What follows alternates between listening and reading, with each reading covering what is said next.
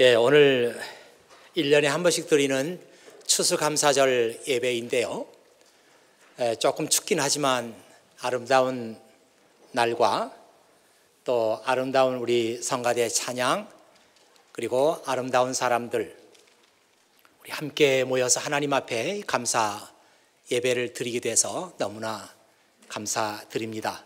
에, 여러분 좀 주변의 사람들 돌아보면서 에, 뭐라고 인사할까요? Happy Thanksgiving, Happy Thanksgiving 하면서 서로 인사 좀 나누시고 좀 멀리 있으신 분들은 눈이라도 마주치고 에, 그렇게 하시죠. 예, Happy Thanksgiving.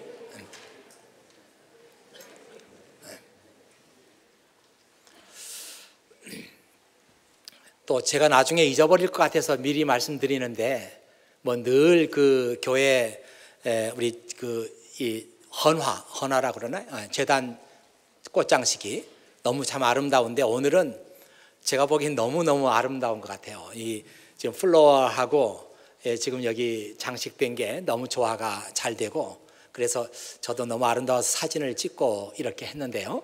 예, 여러분 너무나 감사드리고 수고하신 분 너무나 감사드리고요. 우리 고은경 집사님이 벌써 몇 년째 혼자 이 일을 하고 있고 그런데 너무 참 감사하고 하나님께서 많은 것으로 더 갚아 주시기를 원합니다. 에, 그리고 우리 교회 그 페이스북이 있어가지고 거기 들어가면 그 매주 어? 이 재단 사진들이 올라가고 그러는데 여러분 부지런히 좀 라이크 좀 눌러주시고 예, 예, 예 감사합니다. 예, 오늘 저와 함께 나눌 말씀은요, 에, 주께 감사드려라 이런 제목입니다. 성경 말씀에 나오는 그대로 여호와께 감사드려라, 에, Give thanks to the Lord 이런 제목으로 함께 은혜를 나누도록 하겠습니다. 이 성경 말씀을 해석하는 여러 가지 방법이 있는데 가장 좋은 방법은 그 말씀을 하나만 떼서 뜻을 생각하고 의미를 생각하지 않고 그 말씀의 전체 문맥 속에서 그 말씀을 읽는 것입니다. 그러니까 어떤 말씀이 나오면은 그 앞에는 무슨 말씀이 있고 뒤에는 무슨 말씀이 있고 또 이 말씀이 지금 어떤 그 문맥에서 씌어지고 있다 하는 것을 알게 되면 그 말씀을 좀더 어, 깊이 알게 되고 그 의미를 어, 발견하게 됩니다.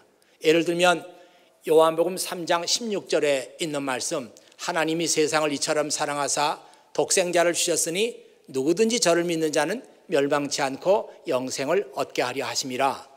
그 이 말씀은 뭐 다른 거 생각하지 않고 이 말씀만 뜻을 생각해도 은혜가 되고 이 말씀만 암송해도 참 많은 그 어, 은혜를 받는 그 말씀이죠. 근데 이 말씀이 어떤 문맥에서 예수님께서 말씀하신 것이냐 그걸 알면은 더 은혜가 됩니다. 이 요한복음 3장 16절에 그 앞에 있는 말씀들을 쭉 읽어보면은 예수님께서 그 무슨 얘기를 하는가 하면 그 민수기 말씀에 나오는 그 말씀을 인용해 가지고 모세가 광야에서 그 장대를 높이 든 것처럼 인자도 높이 들려야 하리라. 인자가 온 것은 이 세상을 구원하려 하심이라. 그런 말씀이 나와요. 그러면서 하나님이 세상을 이처럼 사랑하사 독생자를 주셨으니 이 16절 말씀으로 넘어갑니다. 이 말씀이 민수기 21장 8절에서 9절에 나오는 그 하나의 사건인데요. 이스라엘 민족들이 광야 생활을 할 때에 불평과 원망이 너무 많았어요. 사사건건 힘들 때마다 불편할 때마다 하나님께 어, 그 원망했습니다. 그때 어디선가 불뱀들이 나타나 가지고 불평하고 원망하는 사람들을 다 물었어요. 그래서 독이 온몸에 퍼져 가지고 사람들이 막 아우성 치면서 죽어갑니다.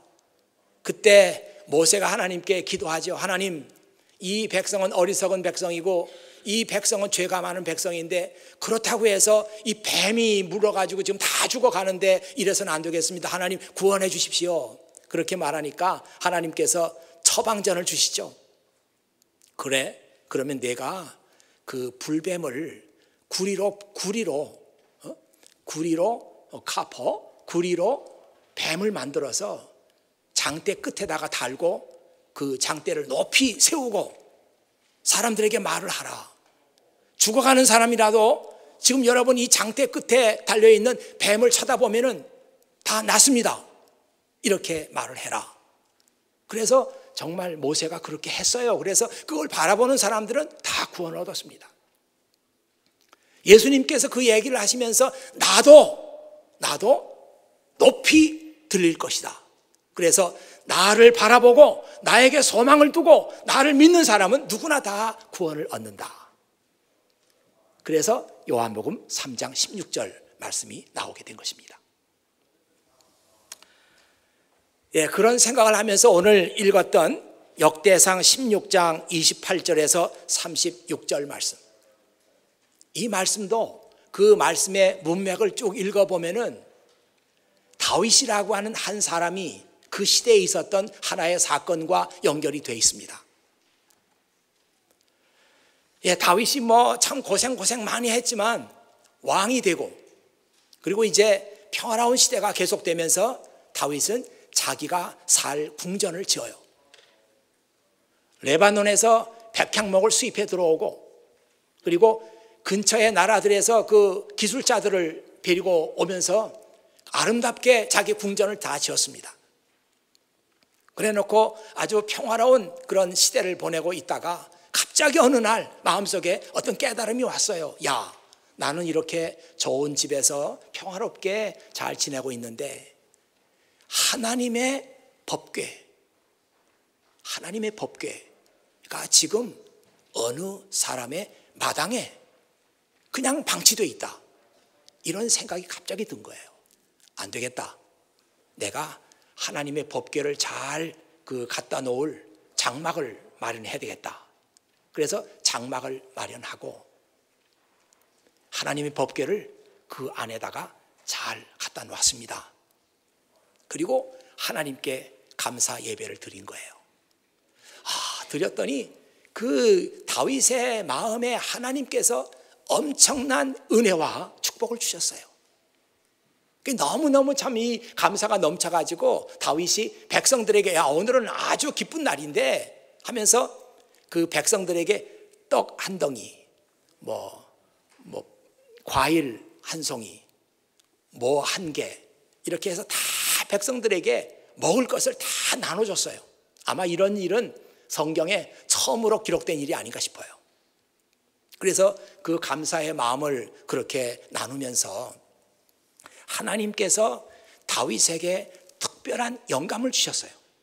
그래서 그 하나님께 대한 감사의 마음을 찬양으로 찬양시를 쓰게 했단 말이죠. 그래서 그 하나님께서 주시는 대로 찬양시를 받아 썼어요. 그리고 나서 아삽이라는 사람에게 이 아삽은 아주 음악적인 재능이 뛰어난 사람이었는데 다윗은 그 아삽에게 많은 그 음악적인 그 재능을 어, 가지고 있기 때문에 그에게 많은 책임을 맡겼어요. 그래서 아삽 자네가 내가 쓴 이 찬양 시에다가 곡을 한번 붙여보게. 그래서 아삽이 곡을 붙인 거예요. 우리 성경에는 그 어떤 식의 곡이 붙었는지 나와 있지는 않지만 찬양시는 다윗이 썼고 아삽이라는 사람이 거기다 곡을 붙인 것입니다. 그래서 이 찬양을 지금 다윗이 부르고 있는 거예요. 다윗은 어, 아삽은 재금을 연주했다 그랬는데 재금이 지금으로 말하면 뭐 똑같아 볼 수는 없지만 심벌즈 같은 것입니다. 그리고 다른 그 뮤지션들이 하프나 또는 뭐 줄로 매단 그런 악기들을 그때 연주했어요.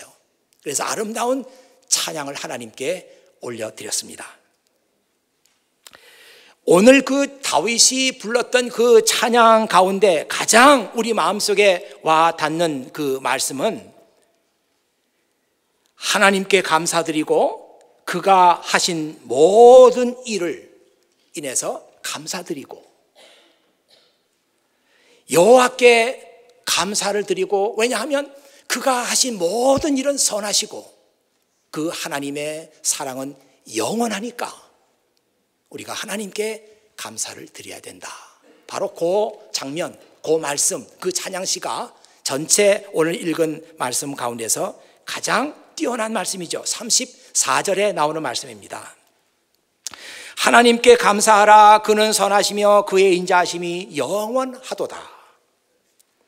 Give thanks to the Lord for he is good. His faithful love endures forever. 하나님은 선하시고 그리고 하나님의 그 신실하신 사랑, 진실하신 사랑, 하나님의 정직하신 사랑은 영원하다. 그러니 하나님께 give thanks to the Lord. 그렇게 찬양했습니다. 저는 이 말씀을 가지고 여러분과 함께 오늘 이 추수감사 예배를 드리면서 이 말씀의 은혜를 조금 더 나누고 싶어요. 우리 주변에 보면은 정말 감사할 대상들이 많습니다. 여러분 그렇게 생각하나요? 정말 우리의 그 삶이라는 게 혼자, 혼자의 힘으로 혼자만 살아가는 게 아니잖아요. 여러분 인정하든 인정하지 않든 간에 지금 우리의 삶은 다른 사람들하고 뗄래야 뗄 수 없는 그런 관계 속에 있습니다. 다른 사람하고 다 연결되어 있는 거예요. 여러분 학교에 가면은 같은 classmate들이 있고 교수님이 계시잖아요. 이 관계를 떠나서 우리가 학교 생활을 할 수가 없고 교회에 오면은 우리 믿음의 형제 자매 친구들이 있고 또 가까이 팀장이 있고 간사님이 계시고 전도사님들이 계시고 또 교회 안에 집사님들, 권사님들, 장로님들이 계시고 목사님이 계시고 이들과의 그 관계를 떠나서 우리가 신앙생활 하기가 참 어렵습니다. 뭐 비즈니스 현장이나 어디를 가든지 다 그렇단 말이죠. 근자에 와가지고 우리가 새롭게 발견하게 되는 것이 환경, 이 환경 문제도 그렇고 환경이 오염돼 가지고 생태계가 파괴되면 그것이 나의 삶하고 관계가 된다. 그런 거 아니겠어요? 아유, 뭐, 거기 뭐 오염이 되든 말든 나하고 무슨 상관입니까? 그거는 과거에 했었던 생각이고, 생태계가 파괴되어 가지고 거기 사는 동물들이 다 죽고, 식물들이 죽고, 물이 오염되고, 공기가 오염되고 하면은 그게 내 삶하고 직결된다.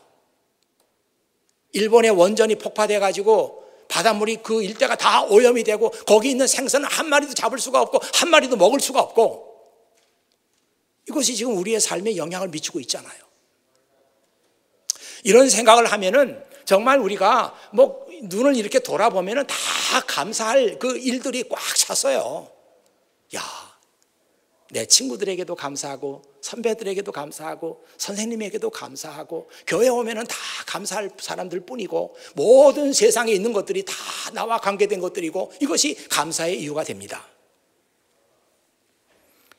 자, 그런데 이보다 더 중요한 감사가 있어요. 하나님께 감사하는 것입니다. Give thanks to the Lord. To the Lord. 성경은요, 감사에 대해서 다른 감사는 얘기하지 않아요. 그것은 뭐 누구나 할 수 있는 감사니까.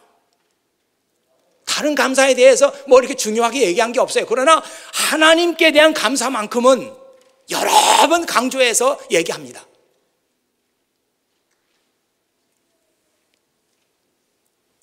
하나님은 우리의 생명의 창조자이시고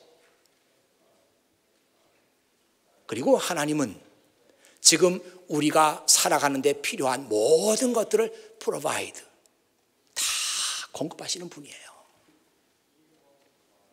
여러분 그 사실을 인정합니까? 야, 하나님께서 나에게 필요한 것들을 다 공급해 주시니까 내가 그 은혜로 살고 있는 것이다. 왜 어떤 사람들은 그거를 발견하고 어떤 사람들은 그런 사실을 까맣게 모르면서 살고 있을까요? 저는 며칠 전에 신명기 8장에 있는 말씀 읽으면서 다시 한번 하나님의 은혜와 사랑을 느꼈어요. 거기 그런 말씀 나오잖아요. 그 여호수아가 어, 모세가 출애굽 2세들에게 말합니다. 여러분 우리 조상들이 광야에서 40년 동안 살아갈 때에 하나님께서 우리를 어떻게 대하셨습니까? 먹을 게 없으니까 만나를 내려주시고, 마실 물이 없으니까 물을 주시고, 그렇게 함으로 인해서 우리를 하나님께서 겸손하게 만드시고, 하나님의 말씀을 듣게 하시고, 사람이 사는 것은 떡으로만 사는 게 아니라 하나님의 은혜로 사는 것임을 우리들에게 가르쳐 주셨습니다. 우리가 40년 동안 살아가면서 발이 부르튼 적이 한 번도 없고 의복을 우리가 의복이 없어가지고 못 입은 것이 한 번도 없습니다. 여러분 놀랍잖아요. 이 광야는 아무것도 없는 그런 그 황무지입니다. 버려진 땅이에요. 거기서 40년 동안 지날 때 발이 부르트지 않았대. 기적 같아요. 제가 보기에는.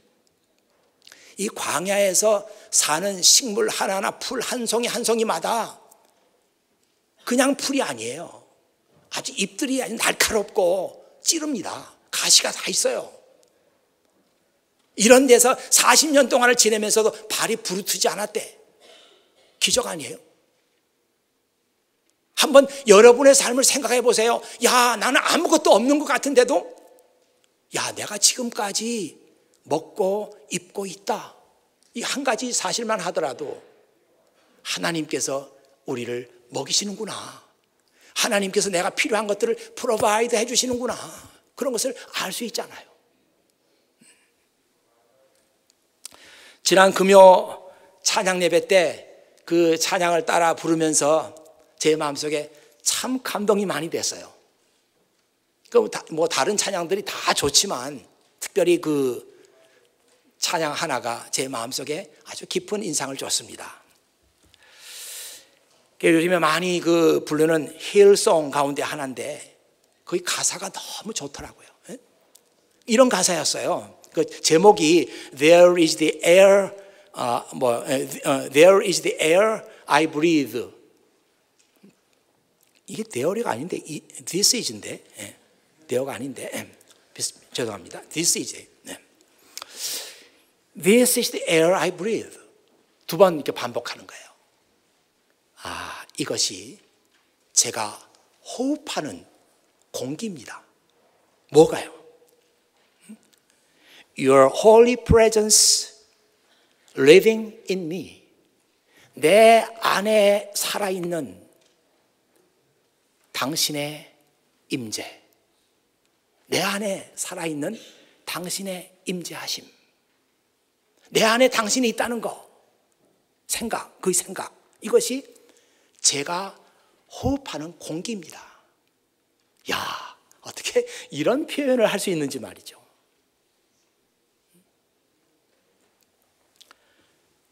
그리고 this is my daily bread. This is my daily bread. Your very word spoken to me. 당신이 나에게 주신 그 말씀, 그 말씀이 저의 일용할 양식입니다. 음? 그리고 and I'm desperate for you. 나는 당신을 목말라 합니다. 당신을 갈망합니다. And I'm lost without you. 나는 당신 없이는 살 수가 없어요. 아, 이런 그 요즘 많이 부르는 힐송 가운데 하나인데 참 아주 그 은혜가 많이 되더라고요. 네. 하나님은 그런 분이에요. 내가 느끼든 못 느끼든 내가 호흡하는 공기와 같으신 분. 그러나 내가 호흡이 끊어지면 공기를 마시지 못하면 내가 숨을 쉴 수가 없고 내가 생명을 유지할 수 없는 그분이 하나님이십니다. 내 안에 살아계시는 당신의 임재하심은 저에게는 호흡하는 공기와 같습니다.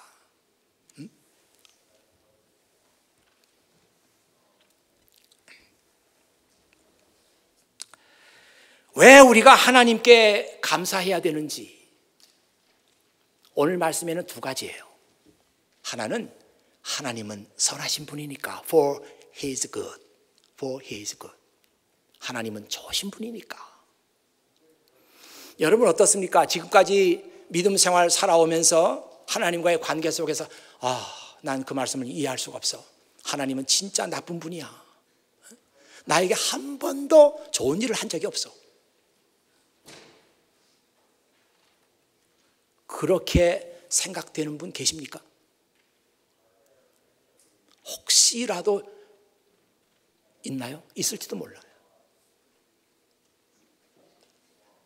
그러나 그런 그 형제나 자매가 있다고 할지라도 언젠가 다시 그 생각이 바뀔 거예요.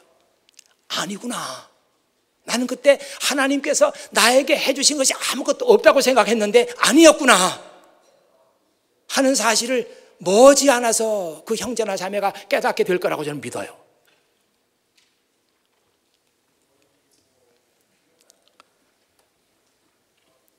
저는 1908 제가 언제 왔더라? 1900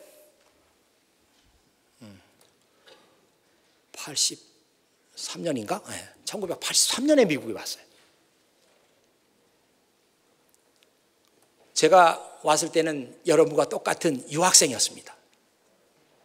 그래서 빨리 공부를 마치고 내가 졸업한 그 학교에 가서 교수를 하는 게 제 꿈이었어요.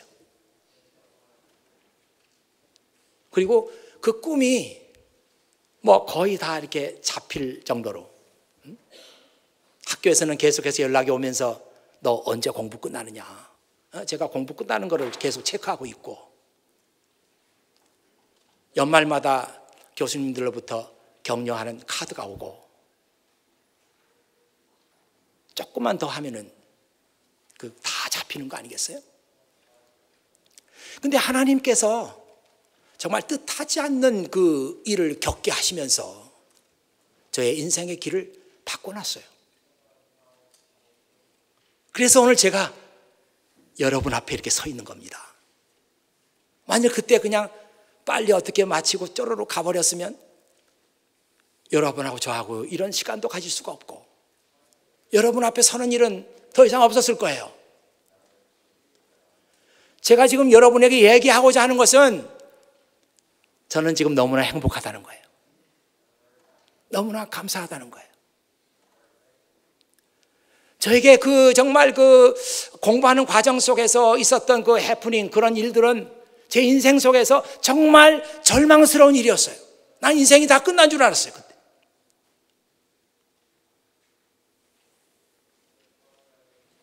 그러나 그 절망을 하나님께서 다른 것으로 이렇게 바꿔 주셨어요.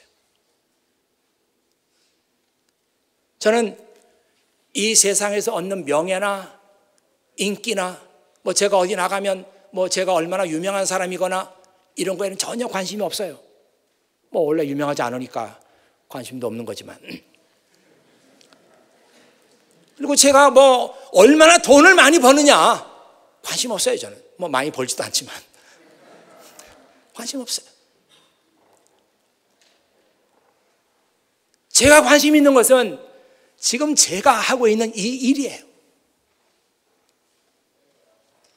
성경 말씀을 같이 놓고 그 말씀을 가르치고 배우고 그리고 주일마다 여러분 앞에 서서 하나님의 말씀을 가지고 은혜를 같이 나누는 일. 이 일이 저를 행복하게 하고 이 일이 저를 감사하게 만들어요. 모르겠습니다. 제가 이런 얘기는 잘 안 하긴 하지만 참 저는 행복하다. 감사절을 앞두고 그런 생각이 더 많이 듭니다. 아마도 그 감사의 마음은 저 혼자의 것은 아니고 여러분이 있기 때문에 그 감사의 마음이 있다. 그런 생각도 해봤어요.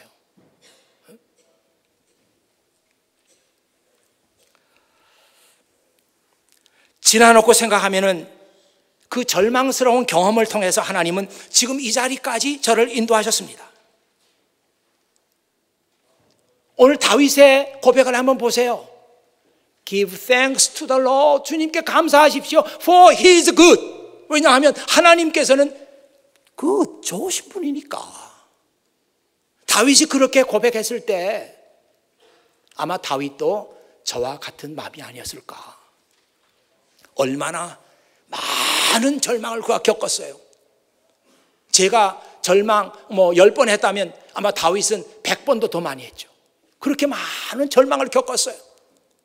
그러나 하나님께서는 그를 절망 속에 내버려 두지 않고 절망에서 이끌어내서 지금 있는 이 자리까지 그를 인도했단 말이에요.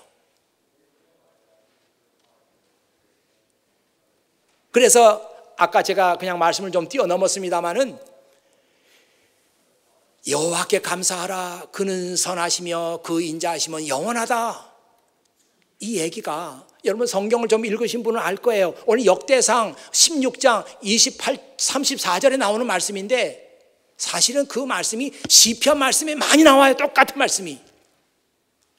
근데 그 시편은 다윗이 쓴 게 아니고 누가 썼는지 몰라요. 제가 짐작하기는 이 시편 쓰신 분들이 하나님을 찬양하고 하나님께 감사하면서 그 옛날 다윗이 고백했던 이 고백을 자기들의 시편에다가 쓴 것이 아닌가 이렇게 생각합니다.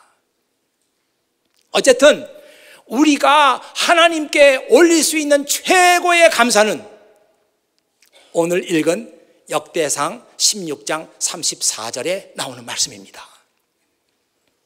여호와께 감사하라. 그는 선하시며 그 인자하심은 영원하도다. 그 중에 왜 하나님을 감사해야 되는가? 하나님은 언제나 좋으신 분이에요. 제 인생 전체를 놓고 보더라도 하나님은 좋으신 분이었어요. 저는 그 하나님께서 여러분들에게도 좋으신 분이라고 믿습니다. 지금 힘들고 어려운 절망적인 상황 속에 있는 형제나 자매가 있습니까? 다윗을 거기서 꺼냈어요. 저도 하나님께서 거기서 꺼냈어요. 이제 여러분도 거기서 꺼내가지고 여러분의 입을 통해가지고 He is good. 하나님은 좋으신 분이야. 이렇게 고백하게 반드시 만드실 겁니다. 음. 자, 두 번째로 보면은 그 하나님은 왜 우리가 감사해야 되는가? 그의 인자하심이 영원하기 때문에. 여기 인자하다고 하는 얘기는 영어 성경에는 faithful love라고 그랬어요. 이 말은 히브리 말로 헤세드라고 하는 말인데 영어로 번역한다면 여러 가지 말로 번역이 가능해요. 어떤 번역 성경에는 그냥 mercy라고 번역해요. mercy. 자비. 또 어떤 영어 성경에는 unfailing love, unfailing love. 결코 중단되지 않는 사랑. 그렇게 번역했어요. 우리말 성경에는 인자, 인자하심. 저는 인자라고 하는 성경 번역은 썩 좋은 표현이 아니라고 생각해요.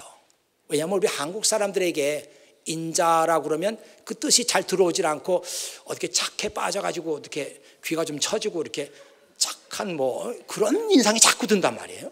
네. 근데 그런 개념이 아니거든요.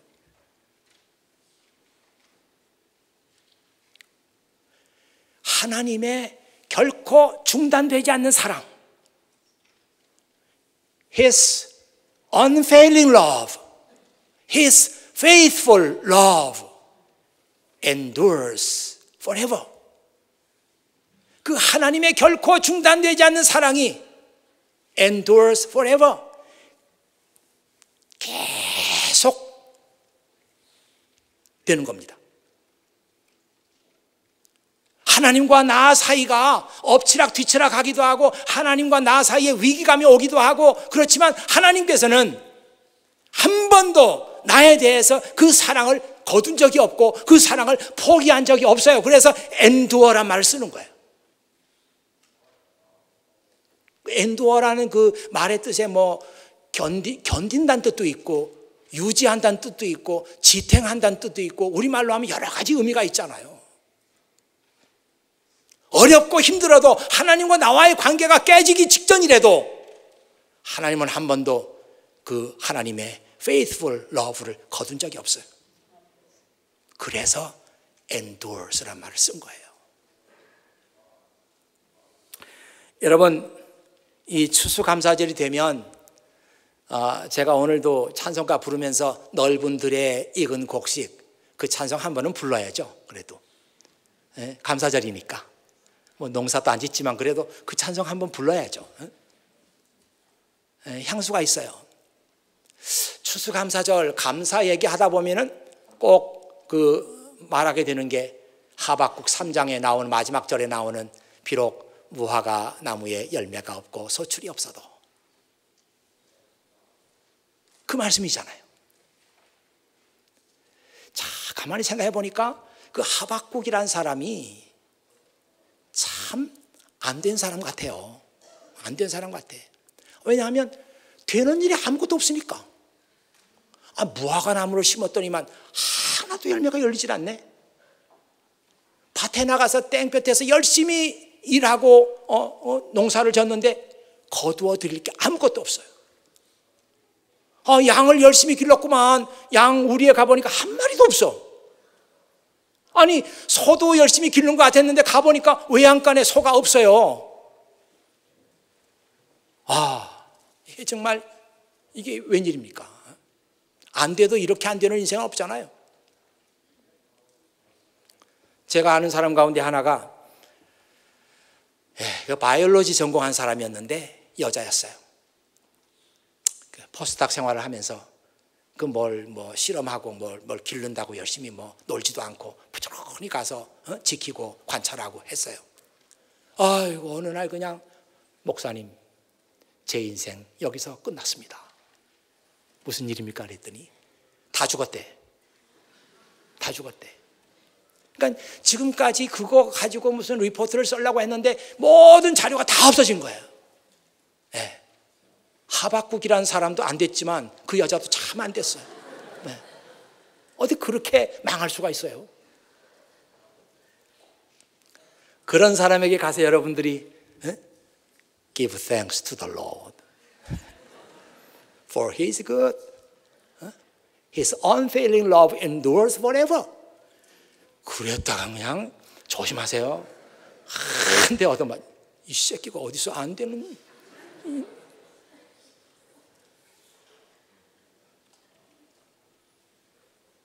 그런데 아닙니다. 아니에요. 하박국이 뭐라 그래요? 그래도 다 망했어도 나는 하나님 때문에 감사하고 하나님을 찬양하겠습니다. 이게 뭐예요? 이게 God's unfailing love예요. 이 사람이 이렇게 망했는데도 하나님의 사랑은 한 번도 거두어 주지, 거두어 드리지 않아서 하나님께서 그를 여전히 사랑하고 계신 거예요. 그래서 그가 믿음을 유지하고 있잖아요. 그 환경 속에서도 그 사람이 하나님께 대한 감사의 마음을 가지고 있잖아요. 그 환경 속에서도 하나님을 찬양하잖아요. 기뻐하잖아요.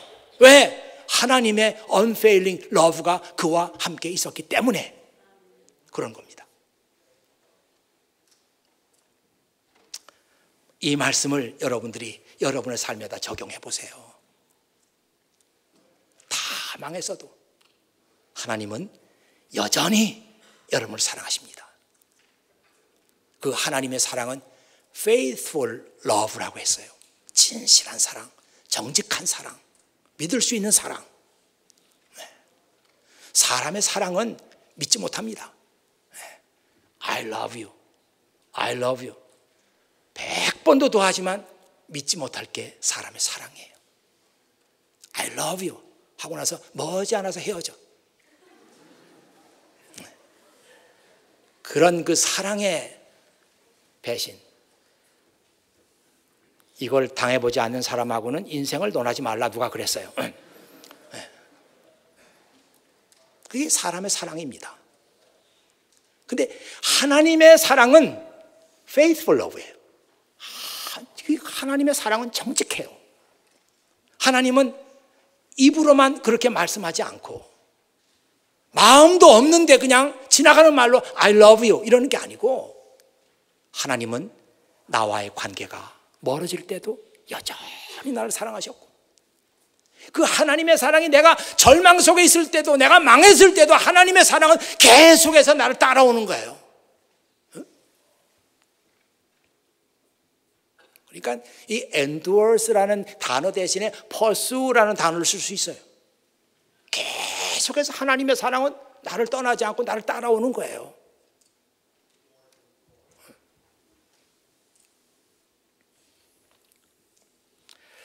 이제 이 감사절 예배를 설교를 마치면서 이번 2013년 감사절에는 정말 여러분들이 하나님 앞에 최고의 감사 고백을 했으면 좋겠다. 그런 생각이 듭니다. 저도 해야 되고 여러분도 해야 되고요. 무슨 고백이 하나님 앞에 올려지는 최고의 감사 고백이 될까?